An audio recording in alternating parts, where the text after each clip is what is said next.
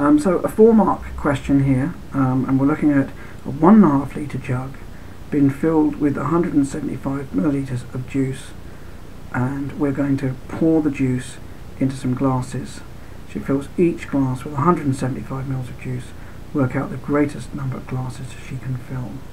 So to do this, we're first of all going to have to um, convert 1.5, that's 1.5 litres, 1.5 litres, into millilitres.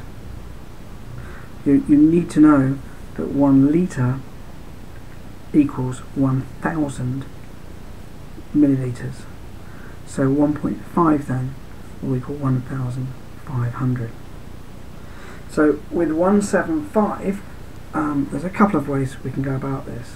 We could just keep adding 175s until we got close to 1500. Or we could use some knowledge that 175 times 10 would get us quite close at 1750. So if I so that's 10. So 10 is 1750. That means 9 if I take 175 off that.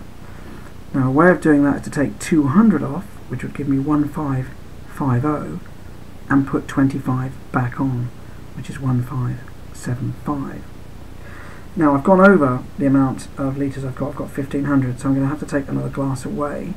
If I take this glass away, then I'll have gone under 1500, and the answer will have to be 8.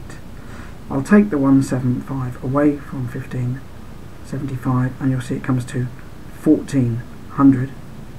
So full glasses, then the greatest number of glasses she can fill will be 8.